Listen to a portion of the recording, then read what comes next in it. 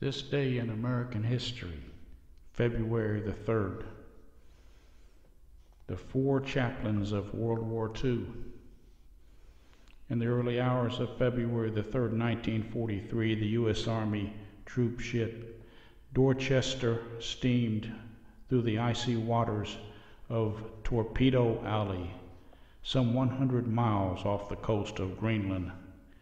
The ships, carrying more than 900 men, was having a rough go of it. Winter winds screeched across the North Atlantic, and heavy seas pounded the bow.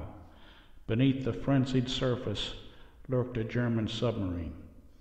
At 12:55 a.m., a torpedo ripped into the Dorchester side, and immediately the ship started to sink.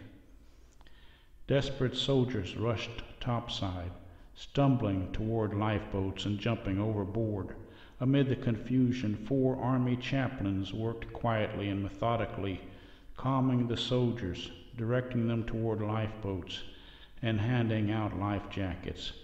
When they ran out, they took off their own life jackets and put them on other men.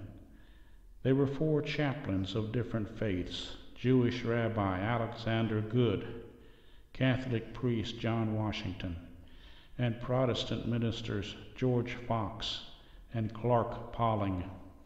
They had joined the U.S. Army to tend to the spiritual needs of the troops.